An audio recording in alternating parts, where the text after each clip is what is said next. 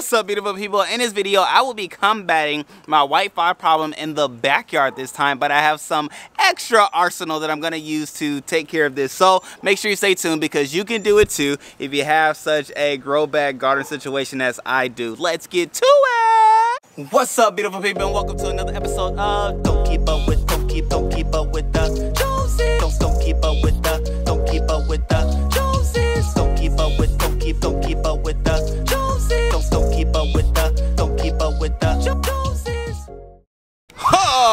great people, how y'all doing? It's me, Rickey Jones Jr., back again for another video. And like I said, this one I am combating some white fly problems or some I don't know, some pest problems on my collards and my kale in the backyard, which these have been doing oh so well in the grow bags. However, I've been paying attention to them more often, and now I'm noticing seeing some problems, which I'm gonna address, which if y'all don't know, I have some chickens here in the backyard now. I don't know how up to date you are on the videos, but as you can see, those are my lovely ladies. They are eating some of the kale that I will not be able to eat because it had that damage and I didn't want to partake in it, okay? I like my leaves to be nice and clean, okay?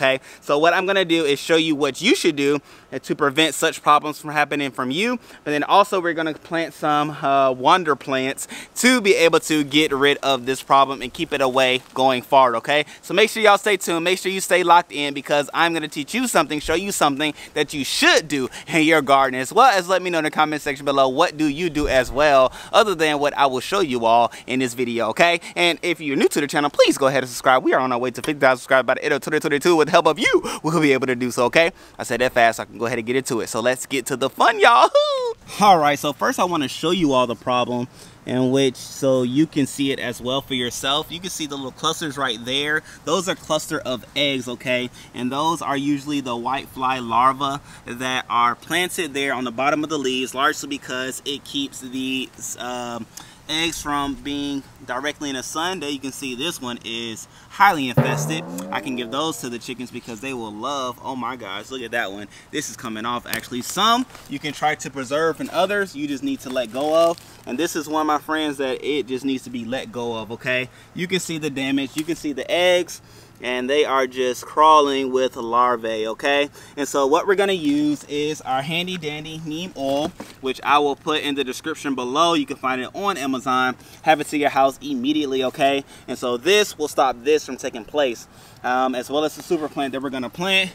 But I think I've shown you all the problem already. And even on the cabbage you can see it down below at the bottom of the leaves is which where you will usually find that. And this is a symptom of damage right and so this it grows into something that will do this and then this will be the outcome of it okay? And so we don't want droopy plants we want live and vibrant plants. So i'm going to go around and spray those that have the damage. Um, just you know maybe look over there. And i'm going to tell you about what i did with these areas too. I did this because of this so this won't happen to that okay?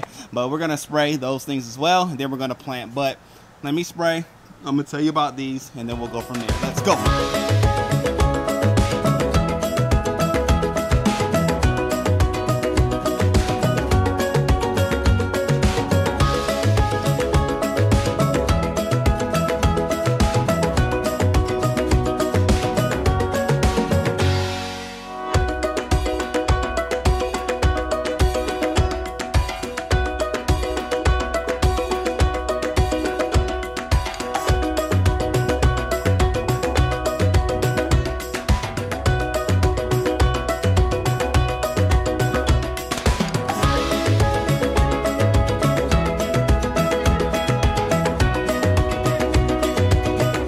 After you spray some neem oil, the super uh, plant itself that helps to get rid of pests and things like this going forward, such as your white flies or your marigolds. Now, I bought these bad boys probably about four days ago, and they have been sitting out, so they are definitely dry, which I feel bad because uh, I feel neglected them. I definitely neglected them. So what I'm gonna do is try to plant these here. Prayerfully, they do recover to the glory in which they were when I picked them up, which I was so happy about them because they look oh so great.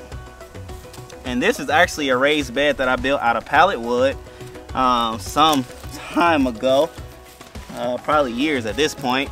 And so I'm gonna just plant three in here and uh, let it do what it needs to do. Obviously I need to water these bad boys because they haven't been watered probably since they left the store. I thought it, well it did rain so they did get a little rain but they weren't in any type of condition where water was preserved so that they could you know retaliate respond and all that good stuff so we're just gonna plant these and then I'll show you how I plant some more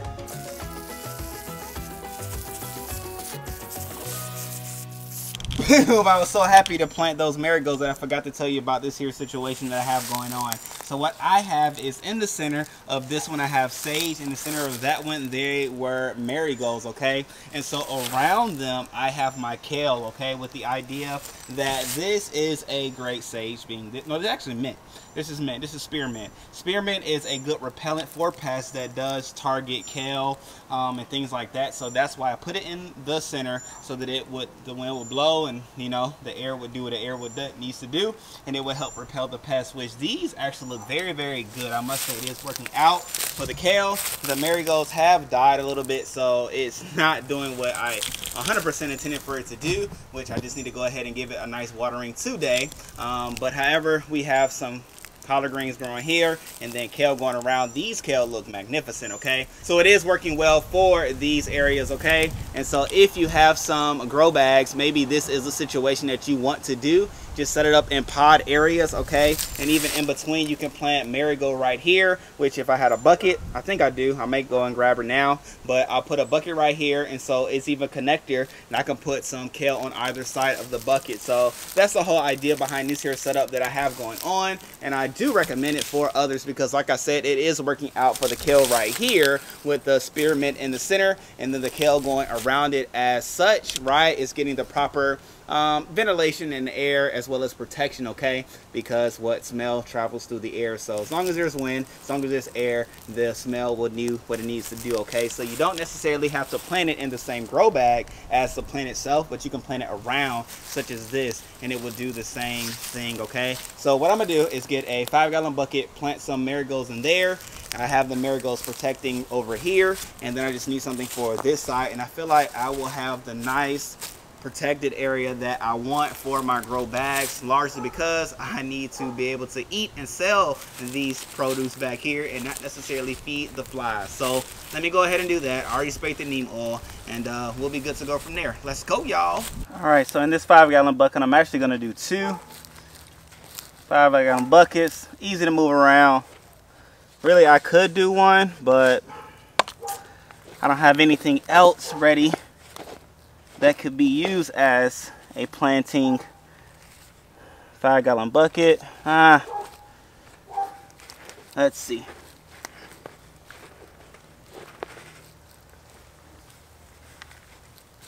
All right.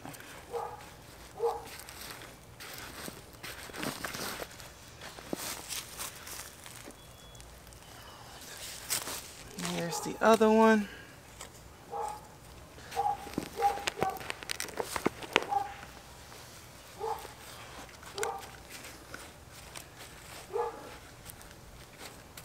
Place it in there nice and good like so. So we have some yellow ones, we have some orange ones. Make sure I give that a water. Also had this here pot, 10 cat quart, excuse me, 10 quart container that I had around that I broke. I was used to use it for uh, washing the car. And so just think, hey, there's different things that you may have used containers for and things like that that now can be repurposed for the garden. And of course it's going to be hidden because the grow bags are going to be all around it. So nobody will see it. It's going to go in there nice and all right. So i have put the five gallon bucket with two marigolds right here so they can be in protection of the kale and this here area right here. And then we have protection going on in the middle with the marigolds there. But then of course like i said i have the um, i don't even know what i'm gonna call it. So I'm just let you off give it a name but essentially I have the marigolds there it's going to be covered the grow bags are actually taller than the bucket itself so when I have uh, marigold excuse me kale kale um, it cover and blend very nicely. And so here we have the marigold in the center. Definitely need to water these bad boys before I end this video. Just mental notes for self, but nevertheless, it has protection there. And then I do have the rosemary over here as well in this five gallon bucket protecting here. We have lemongrass growing there as well, just to give nice protection to my little seedlings that are growing in the grow bags, which I did a video for, okay? So here we go, ladies and gentlemen. Here is the protection plan for my grow bags going forward, or should I say growing forward, so that I can alleviate the white problem, excuse me, white fly problem and things like that. Definitely need to go ahead and drain the water from there so no mosquitoes or anything start to uh, surface. And so we should be good to grow from here. I have everything watered except for that marigold over there. Ha! But nonetheless, everything should be good to grow from here protected and ready to go okay so hey if you have buckets if you have things around the garden definitely give it a use because hey it's not being used right now and it can be used and it will be covered if you do use the method in which I just showed you all which building the old perimeter around the bad boy you'll be set okay? And so also with the marigolds growing below the kale and things itself